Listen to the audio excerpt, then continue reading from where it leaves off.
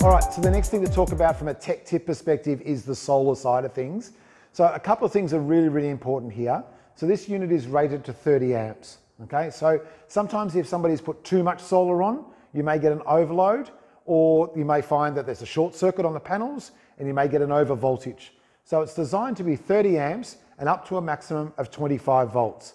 So what happens is, it, to protect itself, if it ever goes over that amperage or over that voltage, the unit, the solar part of the unit will actually shut down and then it will, after a certain period of time, it will then reset itself. If it detects that same scenario again, again it will keep shutting down and keep going through that process. So that's where if a customer comes to you and they say, look, I've got solar out there and I'm just not getting anything coming through. It's a beautiful sunny day, my wiring's all good. Or what they're probably gonna need to do is check their wiring, make sure they don't have a short circuit in there, check their panels, make sure there's no voltage issues in there. Um, as I say, you go over 25 volts and the system will shut it, shut it out, or if you go too high on the amperage side.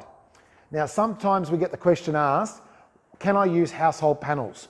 Short answer, no. You definitely cannot use household panels. They operate at a higher voltage, whereas we need to be using 12 volt panels for making sure that that works properly with our Battery Plus 35. Now with the BP35, it'll be with either the solar version, the SR version, or the HA. It's got that 30 amp MPPT solar regulator in there, so it'll work with, um, either of those units will work with solar. All right, so that's the one, just make sure that there's not too much load, not too much voltage, if the customer rings up complaining that it's not displaying up on their Trek or on their Odyssey system.